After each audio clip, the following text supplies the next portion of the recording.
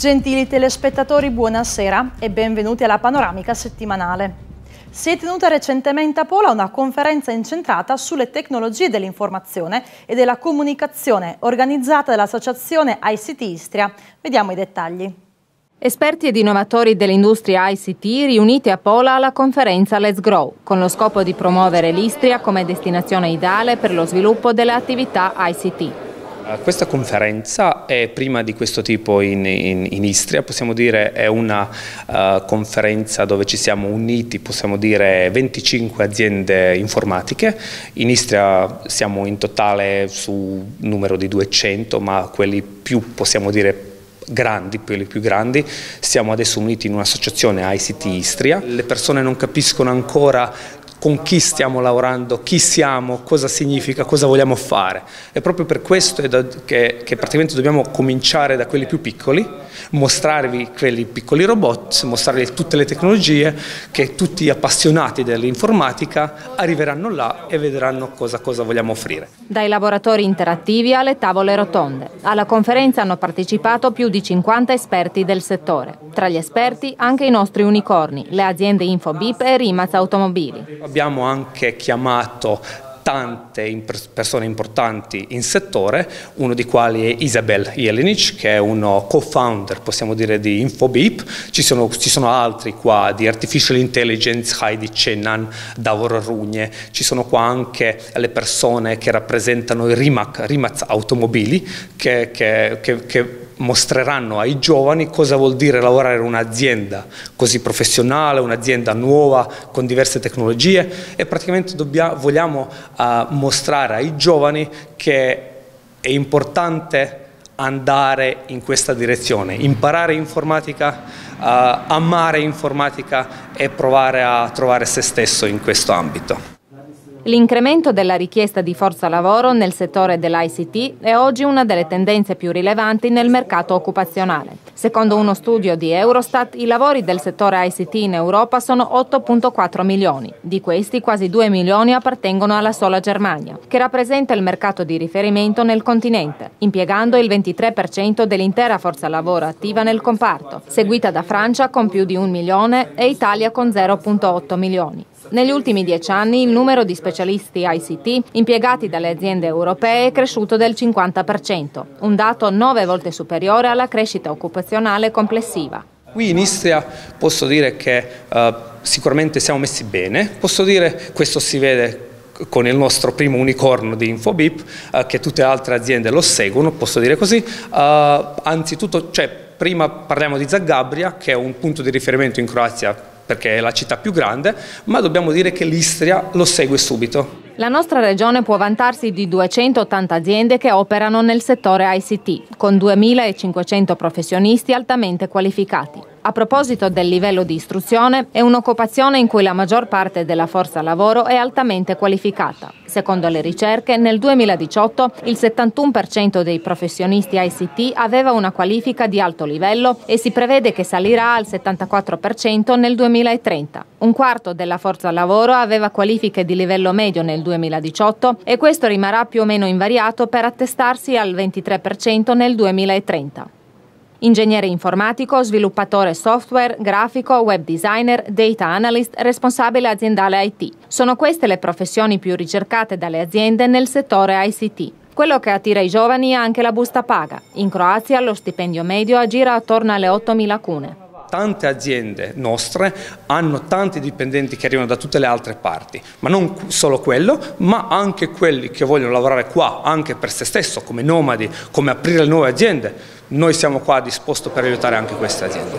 Istra è qua che può offrire una vita completa, come lo diciamo noi. Come vedete qua scrive win-win, che vuol dire uh, puoi vincere sulla vita professionale, ma puoi vincere anche sulla vita privata. Cioè dopo quando finisci il lavoro, lavorare in questo bellissimo ambito, puoi andare al mare e praticamente puoi goderci la vita con la tua famiglia.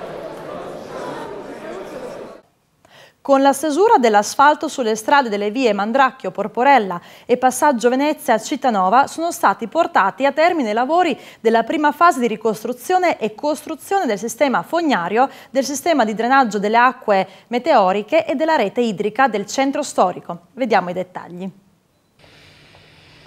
Sono stati realizzati 946 metri di rete fognaria, 260 metri di canalizzazione per le acque meteoriche e 233 metri di rete idrica. A Cittadinova abbiamo appena terminato la prima fase di questo grande progetto eh, che coinvolge anche il comune di Verteneglio e che in, eh, infine avrà il scopo di eh, purificare le acque eh, di canalizzazione al livello massimo con la costruzione del nuovo eh, impianto nella zona di eh, Pineta.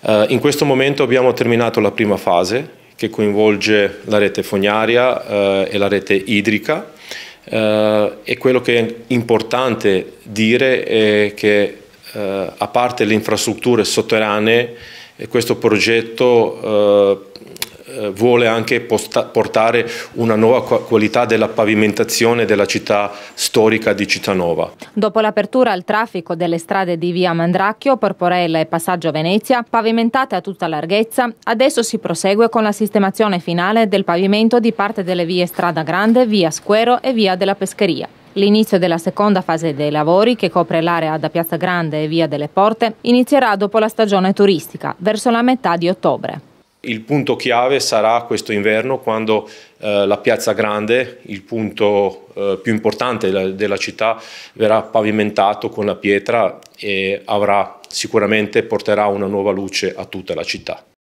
Si tratta di un investimento pluriennale ampio e impegnativo, sottolinea Milos, un investimento che migliorerà notevolmente il sistema delle acque reflue nel centro storico di Cittànova, ma anche di alcuni altri abitati, nonché nel comprensorio del comune di Verteneglio.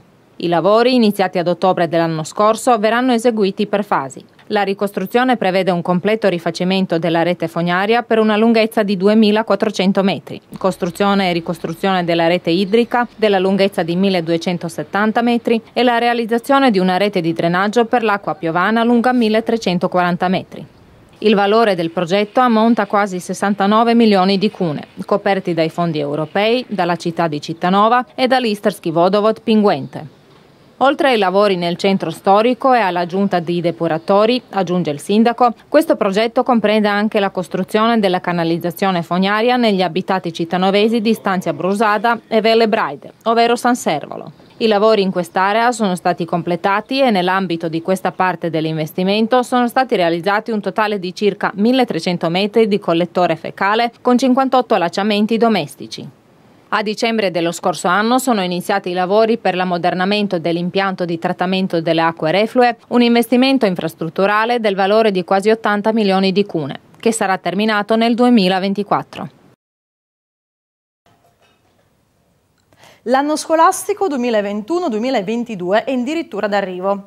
È stato un anno didattico caratterizzato da alti e bassi per molte istituzioni scolastiche, comprese quelle del gruppo nazionale italiano. Presso la scuola italiana più grande in Croazia, la polese Giuseppina Martinuzzi, ci si è adattati bene. Oltre ad esserci informati sull'andamento dell'anno scolastico, abbiamo voluto sapere di più sull'attività dell'istituzione.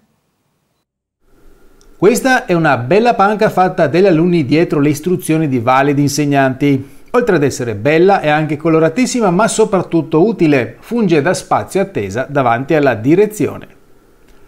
Questo invece è l'inventario della nonna, un progetto di recupero delle tradizioni del territorio che si avvale di una nota ecologica. Dice infatti no ai sacchetti di plastica. Anche qui la creatività è rigorosamente all'ordine del giorno. E che dire delle tante coppe e riconoscimenti sportivi sparsi per la scuola? Queste vetrine infatti ne contengono solo una parte.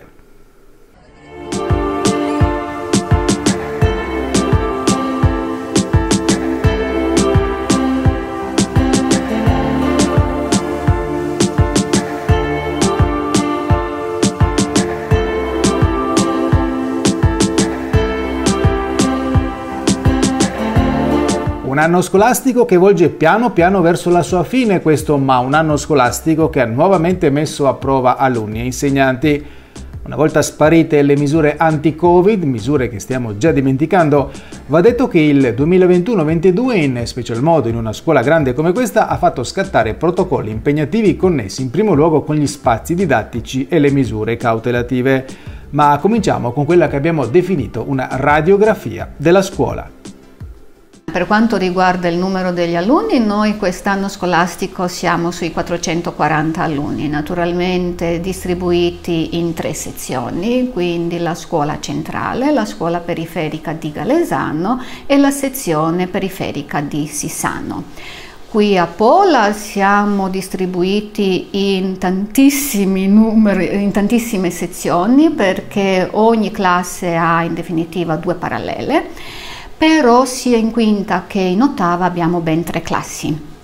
Qui traspare anche il primo problema dell'istituzione, ovvero quello dello spazio. Come continuato dalla preside Cerlon, ci si sta muovendo presso le apposite istituzioni, come presso il fondatore della scuola, dunque il municipio polese, affinché in futuro lo spazio dedito all'attività didattica sia sufficiente. Ma ora andiamo in seconda A.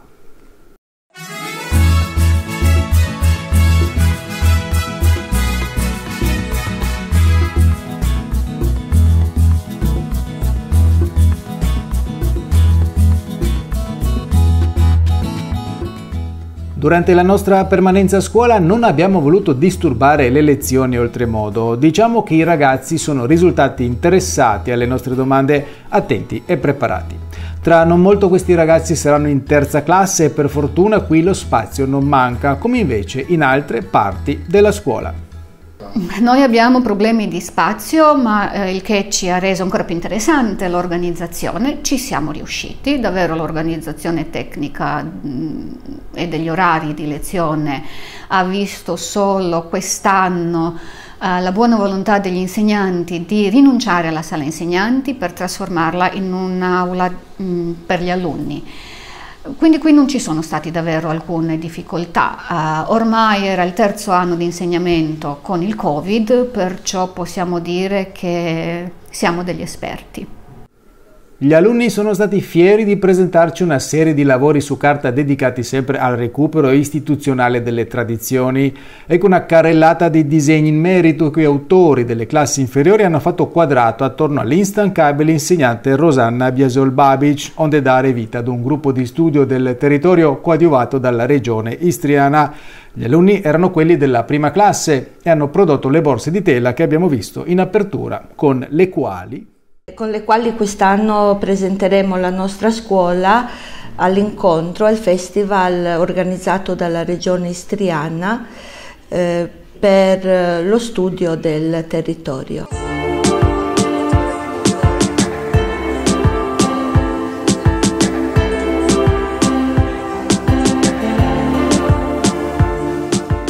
Quelli che abbiamo visto uscire erano gli alunni di una delle ottave classi, mentre l'attimo era quello più atteso, ovviamente il riposo. Inutile dire che faremo ancora volentieri tappa in questa scuola, contando sul fatto che gli anni scolastici diventino sempre migliori per alunni, insegnanti e naturalmente per i genitori.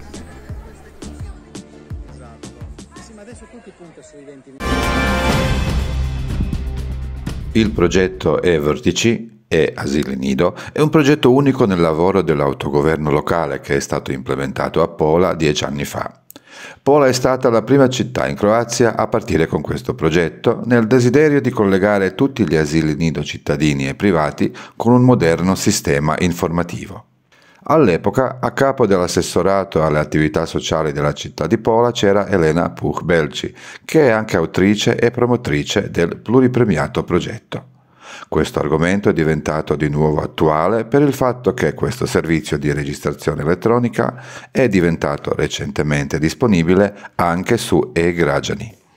I nostri genitori non dovevano andare al Ministero degli Interni per i documenti, ma tutto era praticabile attraverso il numero di identificazione personale OIB da dove si prendevano tutte le informazioni.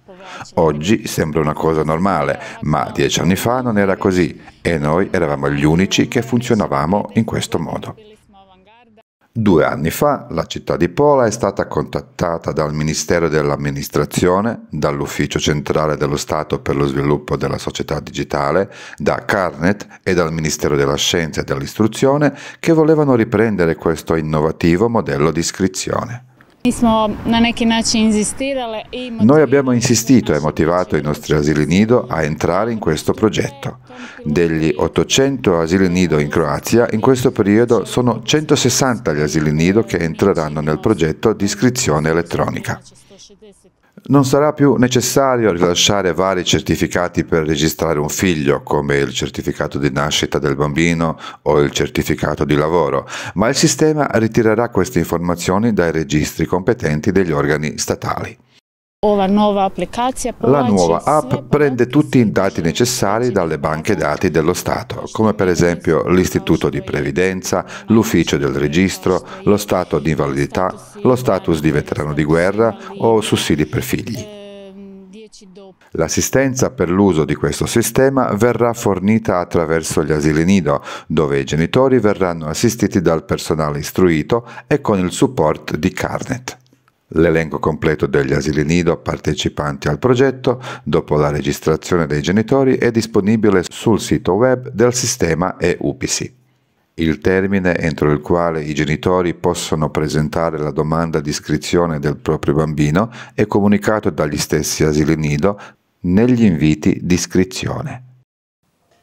Presso il complesso monasteriale dedicato a San Francesco d'Assisi a Pola ha avuto luogo la presentazione del lavoro di ricerca Il complesso francescano di Pola, genesi e sviluppo architettonico dal XIII al XX secolo, del rinomato architetto di Pola Attilio Crismanic. Si è spento Attilio Crismanic, il famoso architetto urbanista, ricercatore e storico dell'architettura originario di Pola. Se n'è andato una settimana prima del ritiro del meritevole Premio Città di Pola e della presentazione del suo libro intitolato Il complesso francescano, genesi e sviluppo architettonico dal XIII al XX secolo edito dal Centro di Ricerche Storiche di Rovigno col concorso dell'Unione Italiana e dell'Università Popolare di Trieste. E qual è il miglior modo di onorare la sua memoria se non presentando il suo libro e ricordare la sua vita e il patrimonio storico polese che ha regalato alla sua città? Per questa occasione, il Centro di Ricerche Storico di Rovigno ha organizzato presso la chiesa di San Francesco d'Assisi a Pola la cerimonia di presentazione del suo lavoro di ricerca. Con questa cerimonia il Centro di Ricerche di Rovigno vuole commemorare il ricordo di Attilio Crismanic, con la quale ha avuto sempre una sana e proficua collaborazione. Nel Centro di Ricerche Storiche di Rovigno io ho trovato fin dal mio arrivo in Croazia, una delle prime visite che io ho fatto, un centro propulsore di ricerca, di studio, di italianità, eh, a cui con questa mia presenza voglio in particolare rendere eh, omaggio. Auguro a tutti una presentazione certamente di sicuro interesse in un luogo spiritualmente così nobile e così elevato. Alla cerimonia hanno presenziato il deputato CNI al Parlamento, l'onorevole Furio Radin, il console generale d'Italia a Fiume, Davide Bradanini, il presidente dell'Unione Italiana Maurizio Tremul, il presidente della giunta esecutiva dell'Unione Italiana Marin Corva, la vice sindaco della città di Pola Ivona Mocinic, il vice sindaco della città di Pola Bruno Cerniul, il segretario generale dell'Università Popolare di Trieste Fabrizio Somma, il console onorario a Pola Tiziano Sosic, l'assessore alla cultura della città di Pola Lena Bradulic, il sacerdote Fra Giuro. Presenti anche gli amici e i colleghi dell'autore come eccezionali risultati che il CRS da oltre 50 anni eh, raggiunge per far conoscere e diffondere la storia non solo della comunità nazionale italiana ma di questo territorio, la storia di questi paesi, raccontando in maniera oggettiva, documentata i fatti storici. E lo fa da tempi eh, in cui la democrazia non c'era, lo fa adesso che la democrazia c'è, lo fa adesso in cui c'è la democrazia, ma in cui sappiamo che la falsificazione della storia è uno dei importanti cancri di questa nostra società e lo fa appunto raccontandola in maniera oggettiva, documentata, eh, seria, come fanno le istituzioni serie. Noi non possiamo che essere orgogliosi di avere il Centro di Ricerche Storiche di Rovigno, credo che questa regione, questi paesi, questo Paese non possa che esserne orgoglioso, così come sono certo, l'ha detto prima l'ambasciatore, è orgogliosa anche, anche l'Italia. Quindi ehm, continuiamo a sostenere le nostre istituzioni, in questo caso il CRS ma tutte le altre istituzioni, continuiamo a fare comunità, continuiamo a costruire unitarietà, continuiamo ad affermare la presenza di lingua, di cultura, di identità italiana, continuiamo a farla in quello che è il rapporto di dialogo interculturale con le altre componenti di questo territorio, orgogliosi e fieri della nostra identità eh, nazionale e di tutte le altre identità che, noi, che ognuno di noi può, può, avere. Complimenti al Centro di Ricerche Storiche per questo nuovo risultato e sono certo che anche nel corso del 2022 ci riserverà tantissime belle e importanti sorprese. Grazie. L'opera monumentale di Attilio materializza in maniera esemplare la tesi di dottorato di ricerca dell'omonimo autore. Lo scopo dell'incontro, inoltre, è stato di celebrare la riuscita di un impegno editoriale eccezionale.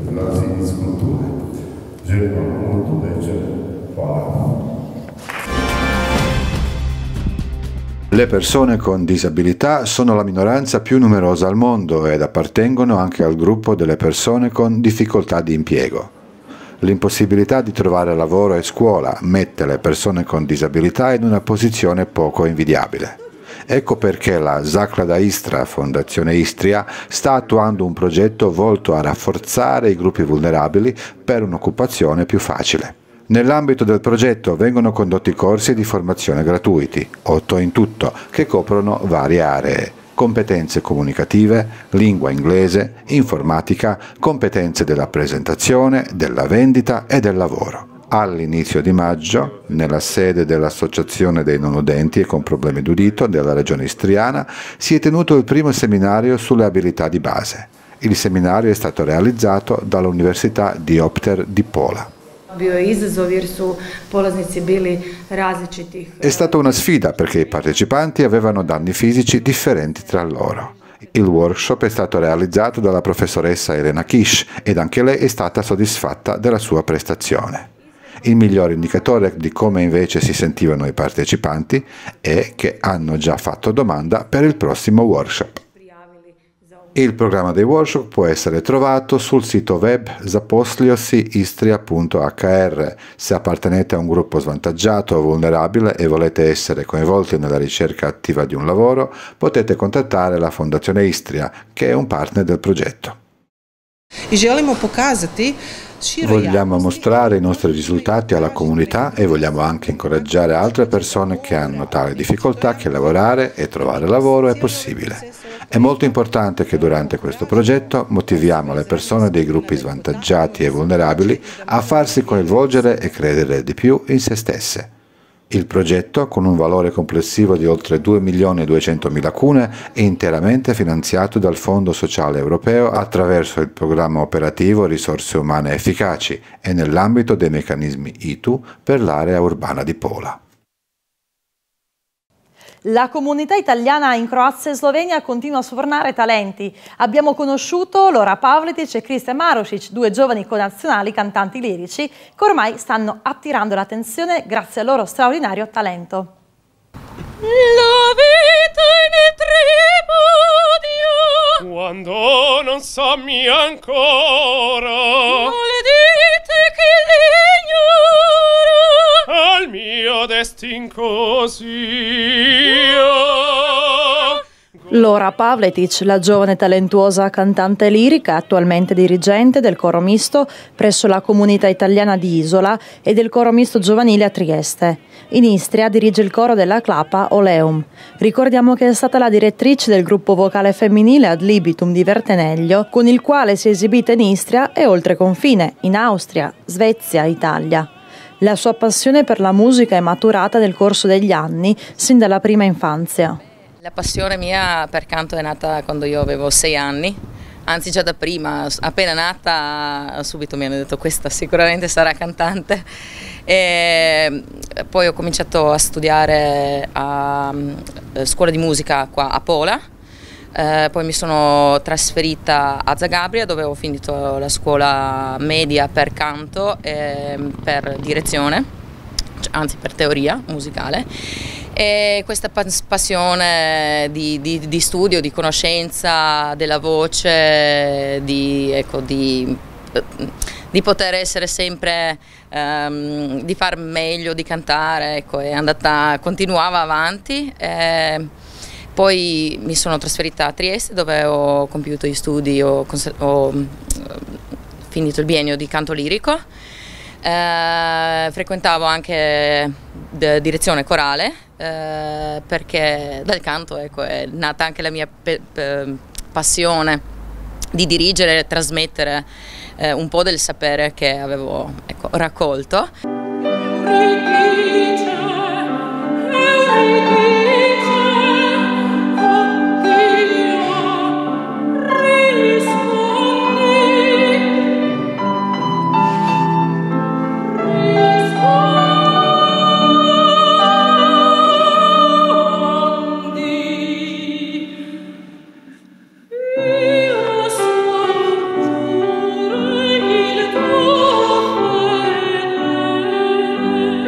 Cristian Marusic, il giovane e talentuoso cantante lirico di Grisignana, è attualmente iscritto al secondo anno del Conservatorio di Musica Giuseppe Tartini di Trieste.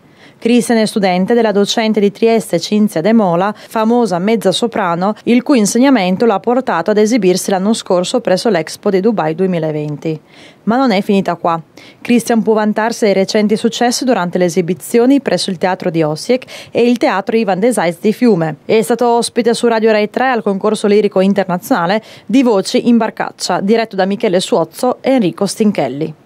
Volevo condividere con voi che sono rientrato da poco da Roma, che ero ospite alla, alla, alla Barcaccia, dove sono i noti conduttori Suozzo e Stinchelli, che mi hanno ospitato, dove ho portato dei miei bolenti spiriti della Traviata ci siamo divertiti un mondo a presentare non solo il canto, ma anche la nostra terra, bellissima.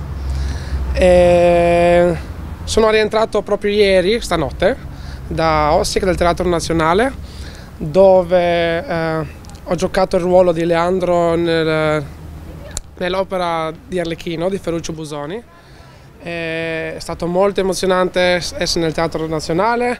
E il mese scorso circa ero anche ospite nel Teatro Nazionale a Fiume, dove abbiamo fatto praticamente anche la stessa cosa ci siamo divertiti un mondo, ho conosciuto persone mondiali di tutto il mondo, come a Roma così anche a Fiume. E quindi eh, sono mesi di emozioni ma ecco una sorpresa per il pubblico croato. I due cantanti si esibiranno e regaleranno al pubblico una serata indimenticabile a Pinguente il 28 maggio, a Pola il 4 giugno, mentre il 22 giugno a Salvore, il 29 luglio a Lusso in Piccolo e il 6 agosto a Domago. Canteranno le più famose arie e canzoni napoletane. Noi aspettiamo con impazienza le loro esibizioni sui palcoscenici croati.